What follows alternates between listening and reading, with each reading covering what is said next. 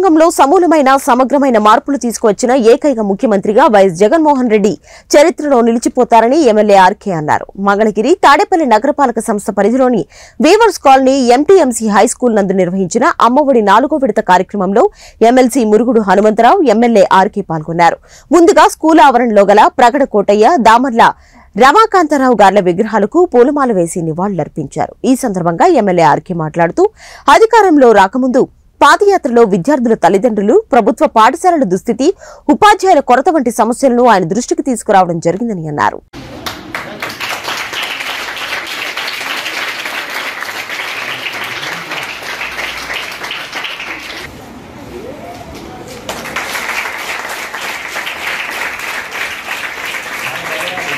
కొంచెం okay.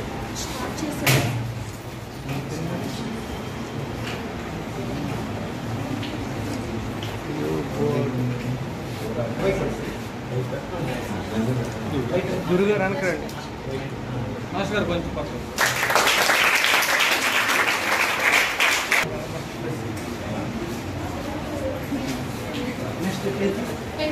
White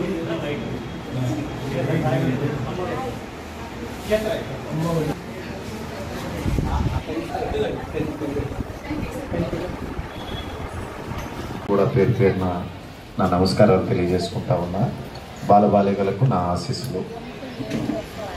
doctor Babasaheb Ambedkar గారు ఇచ్చినటువంటి రాజ్యాంగంలో ప్రాథమిక ప్రాథమిక హక్కుల్లో ఒక హక్కు విద్య అనేది భారతదేశంలో ఉన్నటువంటి అందరి పౌరులకు కూడా సమానంగా న్యాయంగా నాణ్యమైనటువంటి విద్యను అందించాలని చెప్పి రాజ్యాంగంలో మనకి డాక్టర్ బాబాసాహెబ్ అంబేద్కర్ గారు చెప్పున్నారు దాన్ని తూచా తప్పకుండా ఆచరించాలి అని చెప్పి కంకణం కట్టుకొని దివంగత మహానేత రాజశేఖర రెడ్డి గారు ఫీజు రియంబర్స్మెంట్ పెట్టి ఆయన చాలామంది పిల్లలకి ఆ రోజున డిగ్రీలు చదివించి అదేవిధంగా డాక్టర్లు ఇంజనీర్లు చేసినటువంటి ఘనత ఆయనదైతే.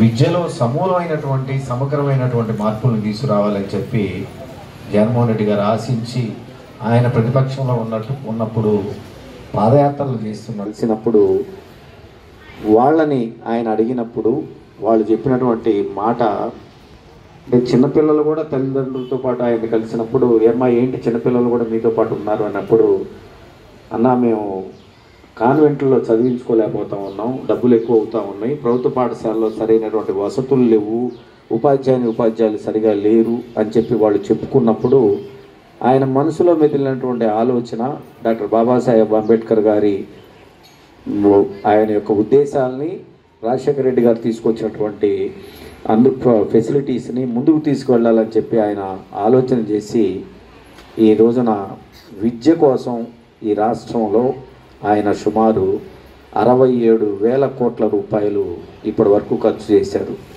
సుమారు నాకు తెలిసి మూడు మూడు మూడు లక్షల ఇరవై కోట్ల రూపాయల వరకు సంక్షేమ పథకాల కోసం జగనన్న ఖర్చు పెడితే దాంట్లో అరవై ఏడు వేల కోట్ల రూపాయలు ఇవాళ విద్య కోసం ఖర్చు పెట్టడం అందులో కేవలం అమ్మఒడి అనే కార్యక్రమం కోసం ఇరవై ఆరు వేల కోట్ల రూపాయలు సుమారుగా ఖర్చు చేయటం.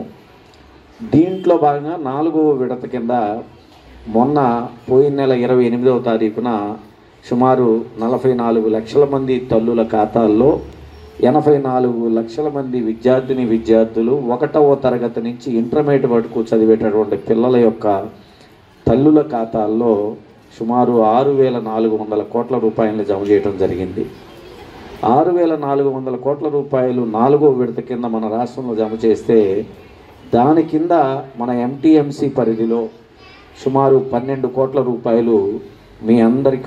నాలుగు విడతల్లో రాష్ట్రంలో అరవై ఏడు వేల కోట్ల రూపాయలు విద్య కింద ఖర్చు చేసి దాంట్లో సుమారు ఇరవై ఆరు వేల కోట్ల రూపాయలు అమ్మఒడి కింద పెడితే ఖర్చు చేస్తే మన నియోజకవర్గం మన నియోజకవర్గంలో మన కార్పొరేషన్ పరిధిలో సుమారు డెబ్భై నాలుగు కోట్ల రూపాయలు ఈ నాలుగు సంవత్సరాల కాలంలో ఆయన ఖర్చు చేయడం జరిగింది. అంటే ఈ నాలుగు సంవత్సరాల కాలంలో అమ్మఒడి అనే ఒక్క పథకం కింద మీ ఖాతాల్లో ఈ కార్పొరేషన్ పరిధిలో సుమారు డెబ్బై మూడు డెబ్బై నాలుగు కోట్ల రూపాయలు మీకు డబ్బులు వచ్చినాయి అని అంటే ఎందుకు చేశాడు ఇదంతా జగనన్న అనే దాన్ని మీరు ఎప్పుడు మర్చిపోకూడదు. ఎందుకు చేశాడు అని అంటే మీరు పడ్డ కష్టం ఎవరు పడకూడదు.